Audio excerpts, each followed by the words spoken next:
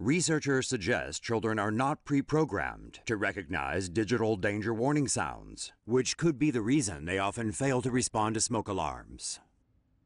A prototype new alarm would lower the standard smoke alarm frequency of 3000 Hz to 520 Hz and use a female voice to issue a verbal warning.